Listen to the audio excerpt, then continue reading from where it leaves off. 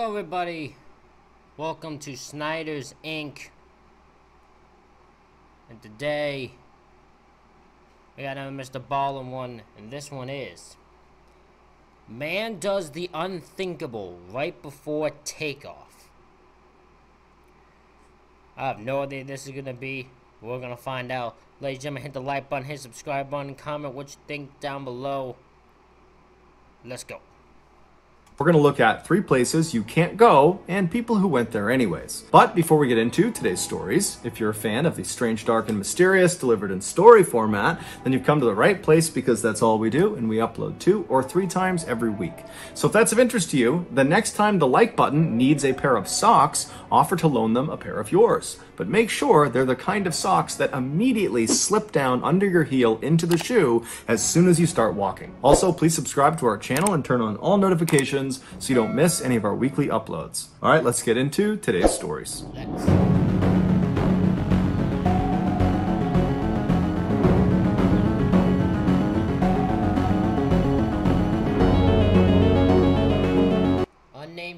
Health says this story is based on limited report and small details may be inaccurate. In 1990, 31 year old John O'Brien was a landscaper in a town just outside of Chicago, Illinois.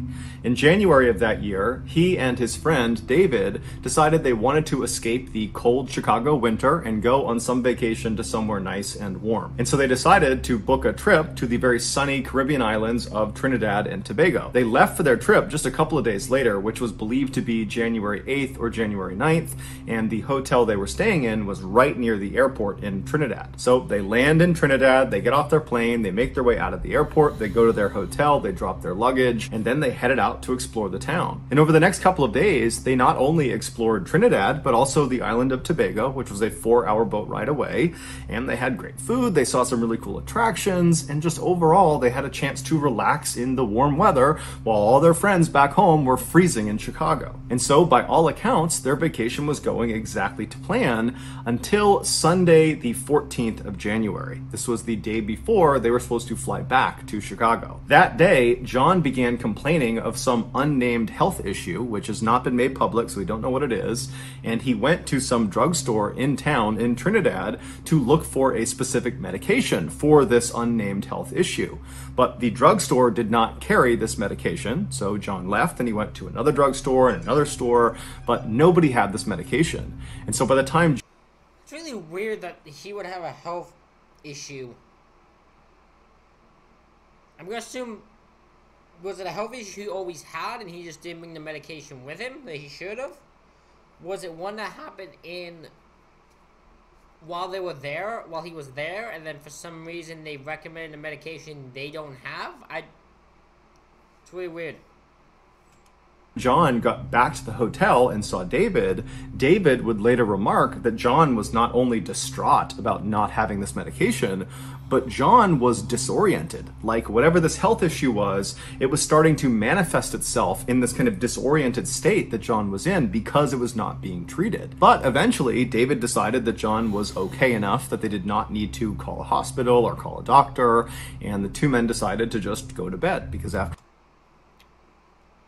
Don't let a good move. He's disoriented and not from a health issue that involves him needed medication. You should go to a hospital.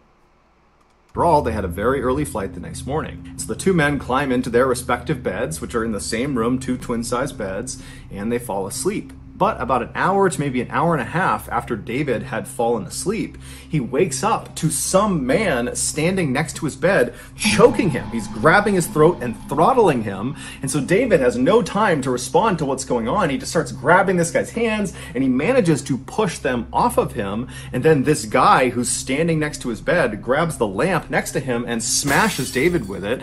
David, from getting hit, falls out of the bed. He lands on the ground. And this guy, his attacker, jumps on top of him and the two men are fighting. But eventually, David manages to overpower this guy and he kicks him off. And as soon as he does that, he realizes this guy that's been attacking him is John. And John is completely naked. He's got no clothes on.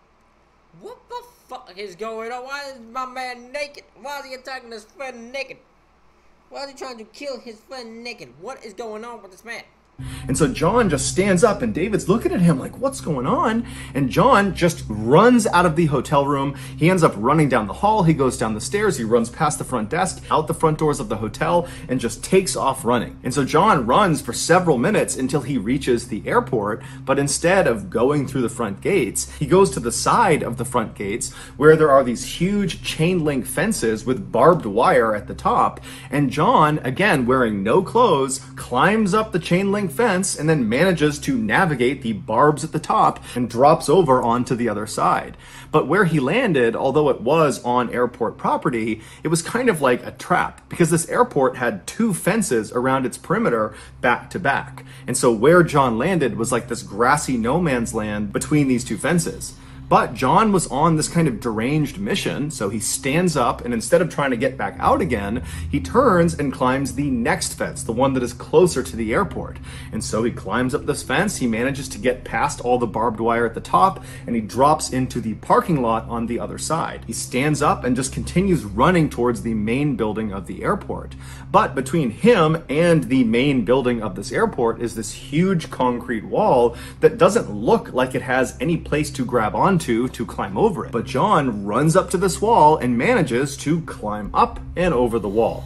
And where he landed on the other side was right next to this security guard shack. And so he comes Oh my god, imagine you're a security guard and you're sitting there doing your thing and oh no, some random naked dude just falls down next to you. It just falls down there. you. You'd be like, what the fuck? Oh, excuse me. Just, just immediately arrest him, probably. But like, why, why, why naked? It's probably gonna be your thought crashing down and the four security guards that are in this shack they see him come over the wall. They see this naked guy just suddenly appear. And so they charge out to apprehend him and figure out what's going on. But john apparently attacked them. We don't know exactly what he did but he managed to overpower all four of them and he stole their four-wheel drive vehicle. And so john just bombs away from the security this man is this deranged sadist just losing it he's just a, he's over he's beating up four people despite the fact he couldn't beat up his friend. He beat up, he killed his friend. He beat up the four people and stole their vehicle. Jesus Christ security guard shack with the four security guards chasing him on foot. And John, he weaves around the outside of the main airport building and he heads out onto the tarmac. Out on the tarmac, there were several planes that were moving into position for takeoff. One of those planes was this huge British Airways jet airliner passenger plane that was actually the next to take off. They'd already fired up their engines and they were sitting at the top of the runway just waiting for clearance. And John just drives directly into this plane. But the vehicle vehicle he was driving, this little four-wheel drive vehicle, it was not tall enough to actually strike the main body of this plane. So instead, when he hit this plane, he basically got wedged underneath one of the wings. At this point, the four security guards that had been attacked and had their vehicle stolen from them, I mean, they're running towards the tarmac, but they've also alerted other security personnel in the airport who are all streaming out onto the tarmac towards this British Airways plane and this vehicle and John. And so as they are descending on the scene, the security guards would see John from the passenger seat of this four wheel drive vehicle. He stands up and they can see he's got a pretty nasty cut on his shoulder. And John reaches up and starts rubbing his hand on the underside of the plane, which had been damaged from running into it. And there was oil leaking off the underside of this plane. And John began rubbing this oil around and then dabbing it into his big wound on his shoulder. And then after packing it with this oil, John leapt out of the wrecked four wheel drive vehicle vehicle and then just took off running away from all these security guards and away from this plane. And in the chaos of this moment, this is so insane. What is going on with this dude? Whatever injury was, it had to have been brain. It had to be a brain-related injury because no person would be like this if your shoulder hurt or your knee hurt.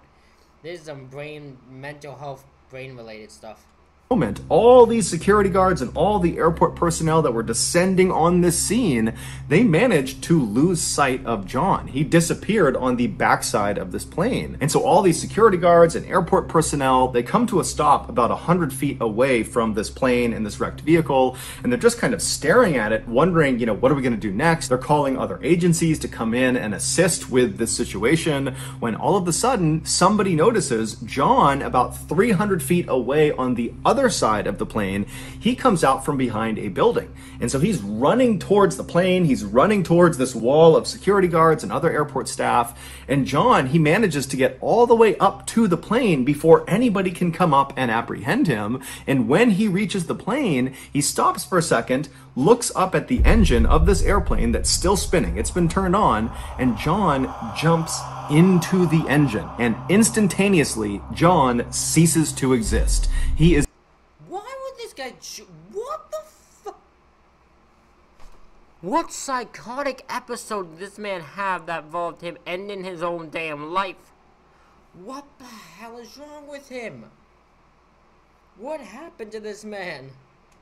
is completely decimated. No one knows for sure what actually caused John's rampage, although it's assumed it had to do with whatever this unnamed health issue was. Ultimately, his death was ruled a suicide. I mean, it is. At the end of the day, it is. Just so confusing. One of the most dangerous. I guarantee you, his family does not believe it was. Because they just. I bet his family just could not understand what he did because it doesn't make no sense. Olympic sports is called luge.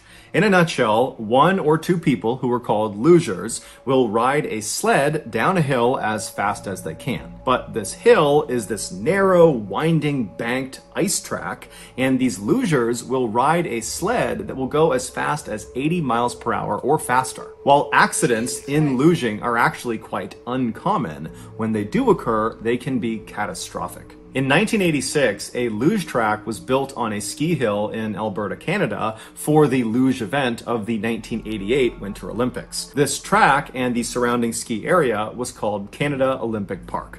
After the Olympics were over, this park was open to the public for recreational purposes. Nearly 30 years later, on January 29, 2016, three teenage boys snuck into Canada Olympic Park after hours. They made their way up the hill until they reached this blue six foot tall fence that was covered with warnings telling people to stay back and don't go past this fence unless you are authorized personnel. And these three teenage boys were not authorized personnel. Inside of this six foot tall blue fence, was what looked like this tall flight of stairs that led up to what looked almost like a log cabin.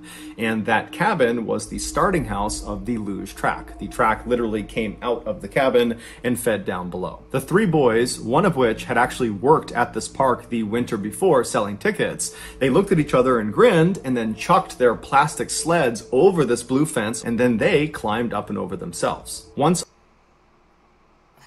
this is stupid idea thought process already. These guys are jump breaking into a park, so this probably is sound like a good idea. On the other side, they each picked up their sled and then made their way up the stairs into the starting house. Once they were inside, they kind of arranged themselves to see who would go first, second, and third. They put their helmets on because they all brought helmets. They strapped on headlamps so they could see the course because there were no lights on on the course. And then one by one, they began going down this luge track. But surprisingly, it wasn't that fast. As they went down, they would actually stop and have to use their feet to get going again. But that was because they had these cheap plastic sleds that were not designed for this luge course. What you needed were these specialty sleds with blades on the sides that got you up to full speed. And so after the three boys eventually, slowly, painfully made their way all the way down to the bottom of this luge track, they were pretty disappointed, but they thought, okay, well, let's just all get in one sled and we'll go down again. And with the added weight, we should go faster. And so they marched their way back up, all the way up to the top of the starting house, and all three of them sat in one sled and they pushed off. And sure enough, they went way faster. They bombed all the way down this track. It was so much fun. They were totally exhilarated. And after doing it a couple more times, this is ridiculous. This is a stupid thought process, man. Shouldn't be doing this. This this is gonna go wrong. We know. I'm just curious how.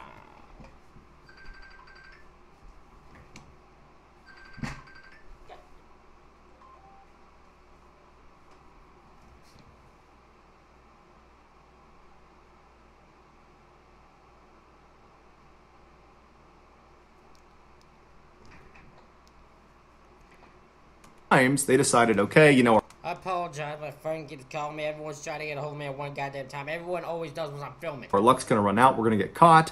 And so they climbed back over that blue fence and snuck out of the park without getting caught. The following weekend, those three same boys, along with five of their friends they had recruited, returned to Canada Olympic Park after hours. And so the three boys that had been there the weekend before, they led the group up the hill. They got to that blue fence that surrounded the luge starting house. And one by one, each of these teenage boys climbed up and over the fence and they made their way up the stairs into the starting house. Once they were inside, they began figuring out who was going to go in each of the three sleds they had brought along. And they determined they would put three boys in the first sled, three boys in the second sled, and two boys in the final sled. Because of how successful the previous weekend's trip down the luge track had been, according to the three boys that had gone, this time the group decided they did not need helmets because this was relatively safe. They also decided not to bring headlamps because they figured it would be more exhilarating to go flying down this track in the darkness. And so a little well, this is just stupid. That's just a stupid thought process. That's dipshit thought process. Don't be stupid like that. That's stupid. After midnight on February 6th, the first three boys climbed into the first sled and pushed off. At first, it was going exactly to plan. It was fun, they were going fast, it was exhilarating, but then disaster struck. Unlike the previous weekend, this night, this weekend, there was a metal chain that had been strung across one of the sections towards the bottom of the luge track. It was there to keep a particular section of the track in place. And so these boys, as they come flying around the corner, they don't see it, and they strike this chain at full speed. Now, this chain was at neck height, and so when it hit them, it instantly decapitated and killed one of the boys. It was a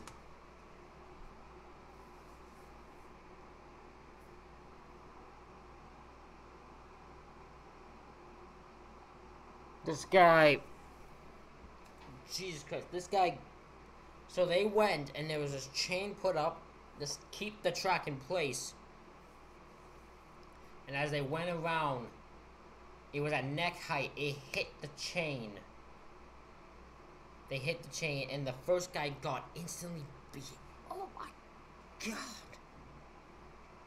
Oh my god a 17 year old named Evan Caldwell. And so he dies immediately, and the other two are thrown from the sled and landed unconscious.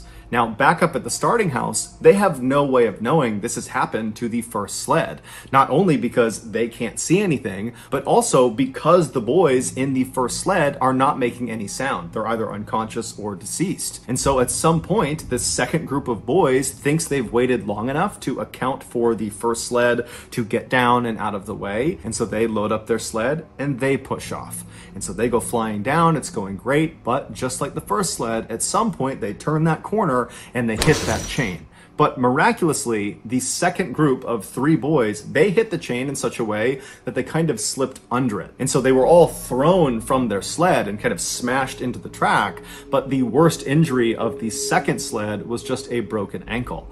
And so this group, they stand up and they're totally disoriented. It's dark. They don't know what they just ran into. And before they had a chance to kind of collect their thoughts and yell up to the starting house to try to warn the third and final group not to go, it was already too late. All the boys could do in the second sled group was to just get out of the way as the third and final sled carrying the final two boys came bombing down and they too struck that chain at full speed. One of the two boys on board this third and final sled was a 17 year old named Jordan Caldwell, and he too, unfortunately, would be decapitated by the chain and would die instantly. And he was actually the twin brother of Evan Caldwell, Oh my god, both brothers died.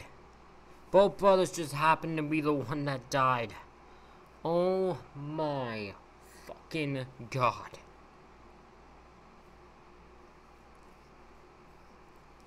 That is insane, man the boy on the first sled who had also died. The other boy on the third sled would be thrown from the sled and would suffer grievous injuries as well. One of the survivors of the crash, who was actually on the first sled, his name was Caleb, and he was knocked unconscious from being thrown. When he came to, he was laying in a section of the track that was covered by a tarp, and at first he couldn't see anything, he couldn't hear anything, but he just felt like there was something lodged in his throat, and it was making it very hard to breathe.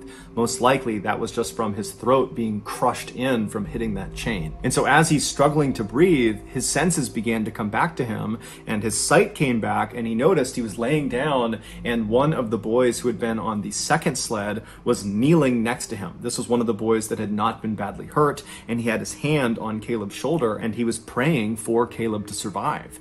And so as Caleb is taking in that someone is praying over him, he notices somewhere else. His hearing is starting to pick up. He can hear someone else, and it would turn out to be a boy named Mark who was on the first sled, who had been very badly injured. His face was very badly beaten up. He was laying somewhere nearby, and he was just singing this religious song. He was trying to keep spirits high, and he was trying to will people to hold on and to survive as long as they possibly could. And then Caleb remembered hearing someone calling 911, and then he doesn't remember what happened next. When the paramedics ultimately arrived within the hour, they got to the track and they found all of these boys spread out all over the track because when they hit this chain, they got sent flying. But they discovered the twins were actually laying right next to each other, and none of these surviving boys had moved their bodies. And so, even though the grief was just unfathomable amongst this family that had lost their two sons, there was some solace in the fact that despite having come down in different sleds,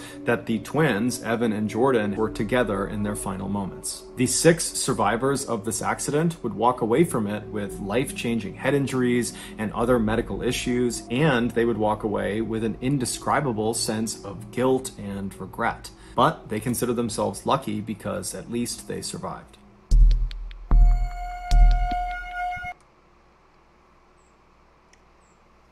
I guess that makes sense. I mean, they consider themselves super lucky to be been able to survive this, but they have guilt because two men, two brothers, both died as a result of this foolishness that they did here.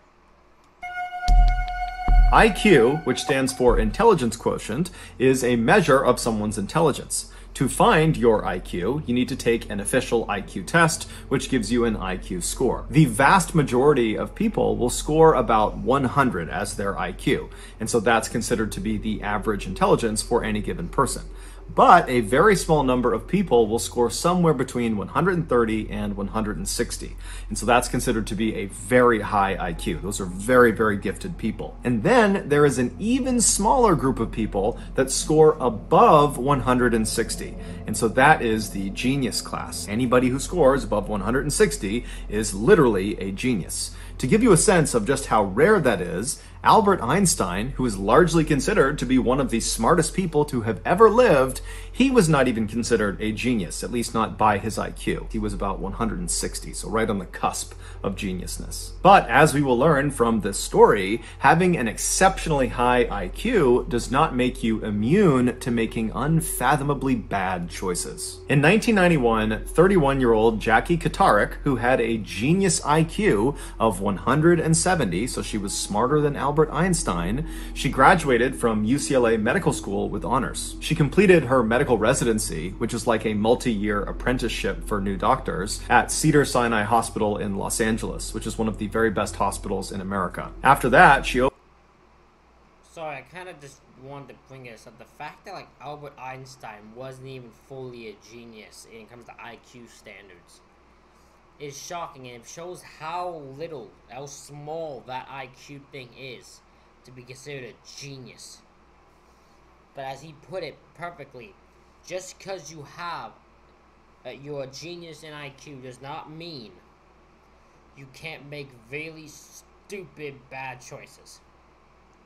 I think we're going to see the example of that here. I'm just curious how stupid it's going to be opened her very own practice just north of LA in a town called Bakersfield, California, and she also became a part time professor at her alma mater, UCLA. By all accounts, Jackie was brilliant, she was successful, and she loved what she did, and her patients and her students loved her right back. Fast forward to 2010, Jackie was 49 years old and she was still running her very successful practice and she was still teaching at UCLA and she was in an on again, off again relationship with a 58 year old man named William Moody. While the details of their relationship are not really publicly known, it's fairly easy to deduce from the reporting that came from this case that Jackie and William fought a lot. On Wednesday, August 25th of that year, Jackie was spotted by herself at a Mediterranean restaurant in Bakersfield, California, having some drinks. And then at some point during the night, she called a ride service to pick her up and take her home again. Even though we don't know this for sure, it's assumed she was too intoxicated to drive, and that's why she called the ride service. The following morning, Jackie did not show up for work. Her assistant at her medical practice is the one who noticed Jackie had not shown up. And so when she didn't, she called her boss, but her boss didn't pick up. And so after a couple of failed attempts at getting in touch with Jackie, this assistant called Jackie's boyfriend, William. And so William, he picks up the phone. And when the assistant asks him, Hey, have you seen Jackie? She has not come into work today. William actually says, Yes, I saw her last night. William would explain to the assistant that the night before he was in his house by himself in Bakersfield, California, not far from this restaurant where Jackie was last seen. And he said that at some point, unannounced, he saw Jackie pull up in front of his house. And so he could tell from her general demeanor and her look and her pace that she was upset about something, or he just sensed there was going to be some conflict if he went to the door. And so he decided to actually slip out the back door and kind of run away from his property before Jackie could see him. And so he actually left the property and went to a friend's house who was nearby and spent the night. So this girl showed up drunk, pretty much ready to argue and fight with this man, and this guy went, not snuck out his back door and went to a friend's to avoid this woman. Fair enough. With this friend. And so when the assistant called William, William was actually still at this friend's house. He had not been back to his actual property. And so he would tell the assistant that, you know, the last I saw of Jackie, it was late at night. She had pulled up in front of my house, but then I split. So I don't know what she did. I assume she left. But William would tell the assistant that, you know what, I'll go back over to my house and I'll see if she's still there or if there's some indication of where she might have gone. And so William hangs up the phone, he leaves his friend's house and walks the couple of blocks back to his own property. And when he gets there, sure enough, right out front of his house is Jackie's car. Now, William knew his house was locked and Jackie didn't have a key. And so Jackie must just be sitting in her car waiting for him to return.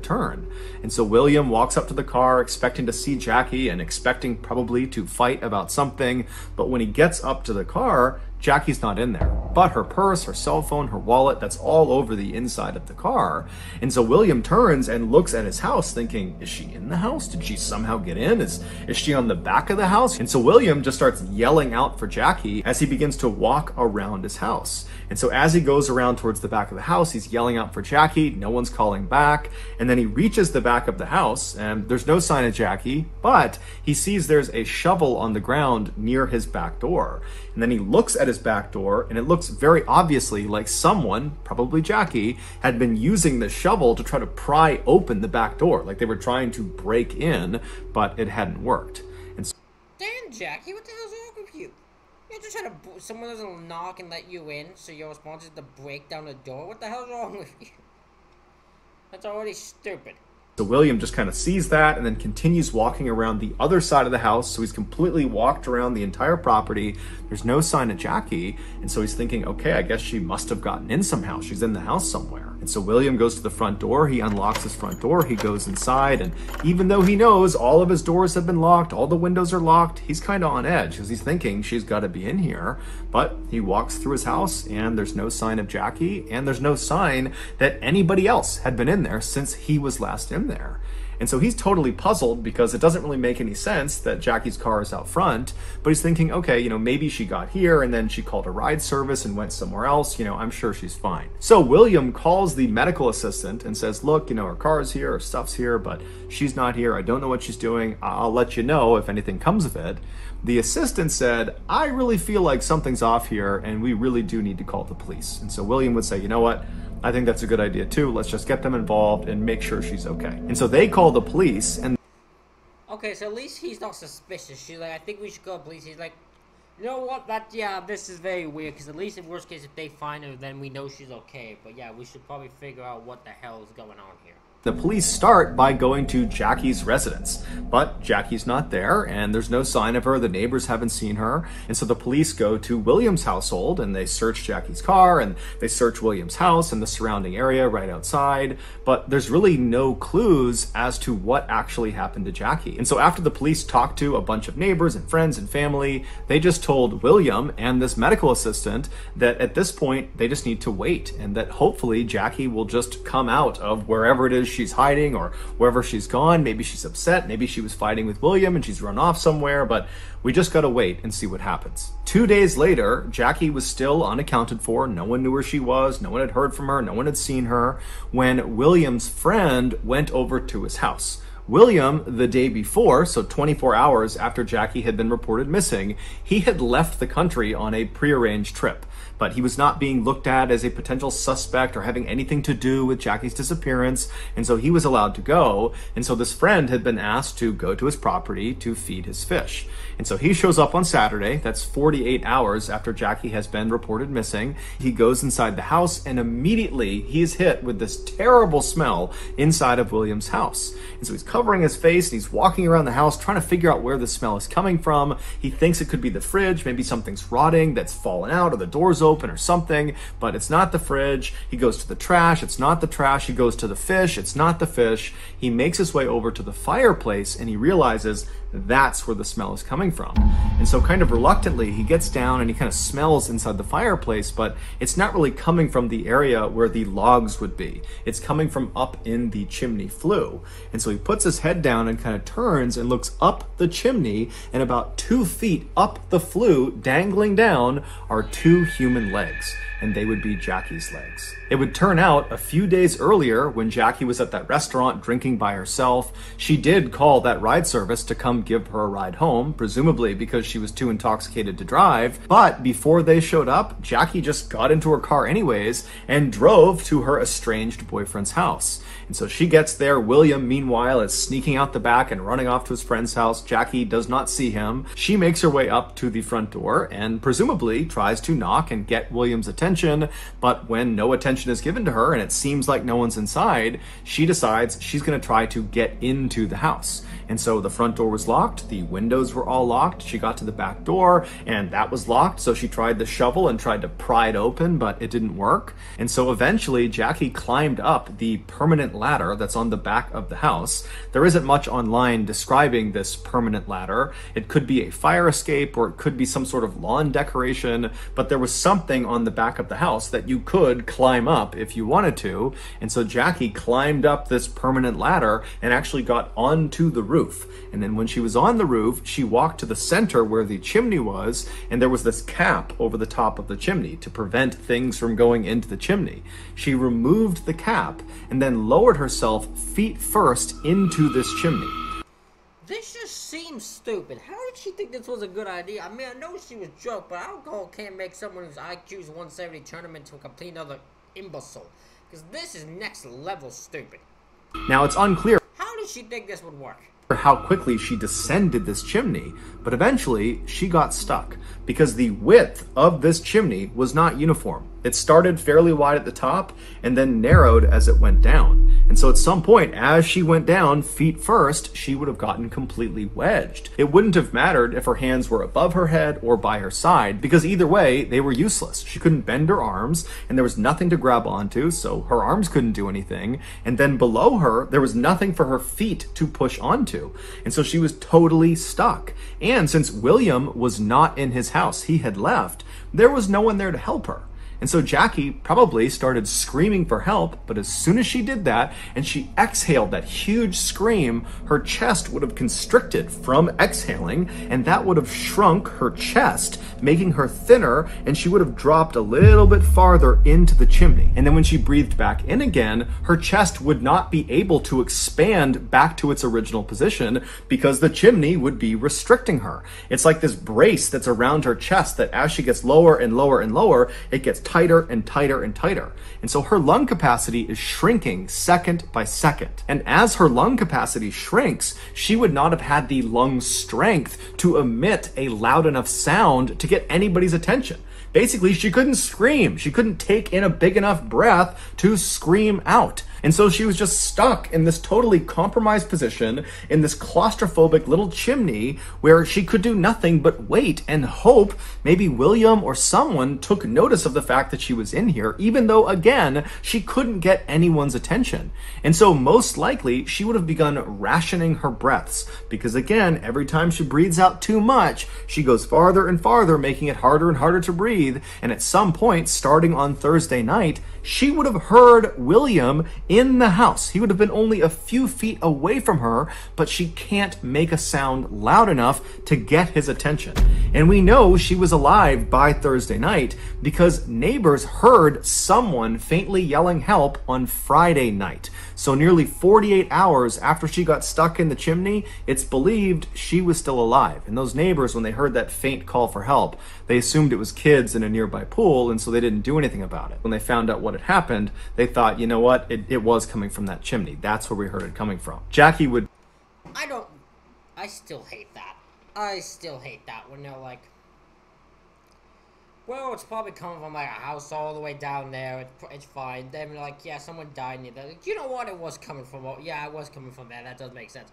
I hate that die shortly after the neighbors heard her calling for help because she was dead by the time the friend found her in the chimney the following day on Saturday. Jackie would die from mechanical asphyxia, which is basically suffocation, but it's caused by some physical obstruction. And in this case, it was the chimney. The chimney literally crushed her chest to the point where she could no longer inflate her lungs. It would take firefighters approximately five hours to break this chimney down to finally retrieve Jackie's body. No charges were filed filed against anyone for Jackie's death. It was ruled to be an accident, an accident caused by an unbelievable error in judgment by an unbelievably brilliant woman. So that's going to do it, guys.